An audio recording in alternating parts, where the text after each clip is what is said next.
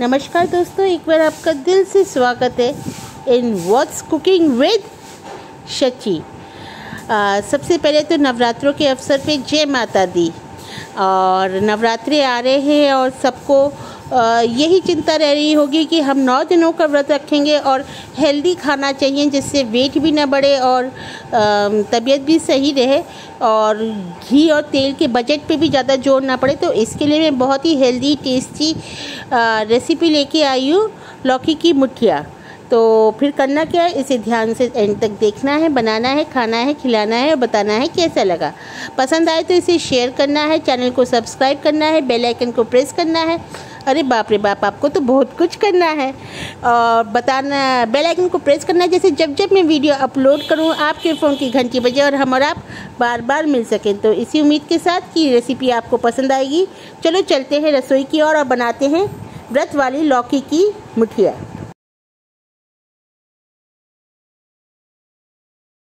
तो आज हम बनाने जा रहे हैं व्रत के लिए बहुत ही हेल्दी नाश्ता कह लीजिए या स्नैक्स कह लीजिए या खाना कह लीजिए, इसमें बहुत कम घी में बना रहे हैं और ये बहुत हेल्दी है।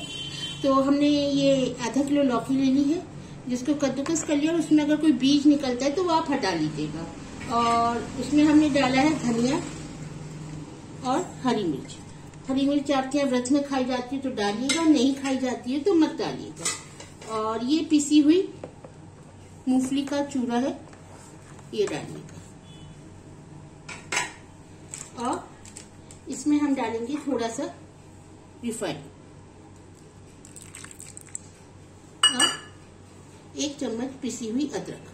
अदरक आपके यहाँ डाली जाती है तो डालिएगा, नहीं तो मत डालिएगा। और अब इसमें हम करीब 200 ग्राम कोटू का आटा डालेंगे। आपके पास कोटू का आटा ना हो तो आप सिंगाड़े का आटा यूज़ कर सकते हैं। इसको अच्छे से मिक्स करेंगे और इसमें डालेंगे सेंधा नमक, स्वाद अनुसार, और एक चम्मच जीरा पाउडर। और इसको अच्छे से मिक्स कर देंगे और डालेंगे एक चम्मच दही। अब इसको हम खूब अच्छे से मिक्स कर देंगे। इसको ऐसे, इसकी लंबी लंबी से एक साथ करते हुए, थोड़ा मैंने अपना हाथ चिकना कर लिया है, जिससे चिपके ना और ये छनी है, इसको चिकना करके इसमें ऐसे हम लगाएँगे। करके दिखाती हूँ।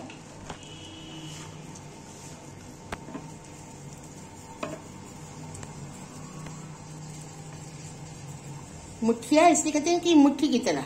मुट्ठी की तरह बनता है मुट्ठी ऐसे। फिर से एक बार हाथ अच्छे से चिकना कर लेंगे, क्योंकि चिपकने लगा है।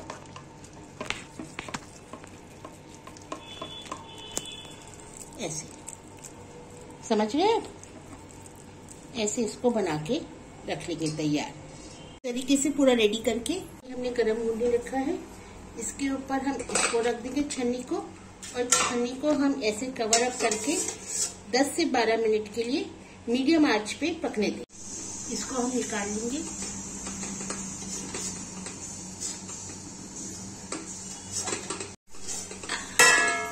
ये हमारे देखिए कितने अच्छे पक गए हैं। इनको हम एक प्लेट में बड़े आराम से निकाल लेंगे। अब जो हेल्थ कॉन्शियस है वो ऐसे भी खा सकते हैं, पर इनको अगर हम थोड़ा सा भून लेंगे तो बात ही कुछ और हुई हम एक एक को लेंगे, और थोड़ा ठंडा होने पे इसको हम ऐसे पीसेस में कर लेंगे। अब इसमें हम थोड़ी सी राई डालेंगे।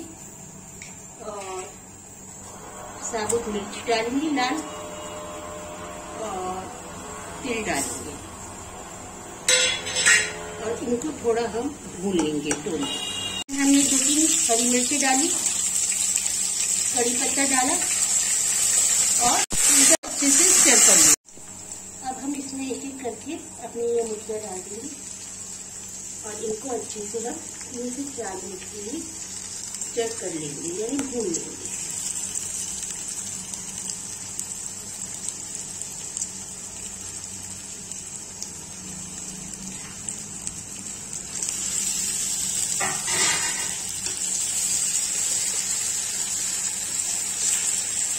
है ना? व्रत के लिए बहुत कम घी में बहुत ही हेल्दी खाना, लौकी, तिल, मूंगफली, ये सब कितना हेल्दी है? और कितने कम घी में कितना सारा आपका तैयार हो गया? इसको हम अच्छे से भून लेंगे तो देखिए, भून लेंगे रेड होना शुरू हो गया हम नींबू निचोड़ लेंगे और इसको हम चटनी के साथ सर्व करें। हमारी यमी हेल्दी टेस्टी सी, बहुत कम घी तेल में व्रत की मुठिया।